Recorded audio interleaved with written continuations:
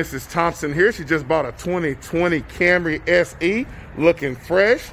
Just want you to tell the world how you felt about your experience here at Toyota Rockwall. I loved it. Everything, everyone was so nice and friendly. The salesman, Dontrell, was very helpful and informative. I loved it. I loved the Corey. I loved everyone.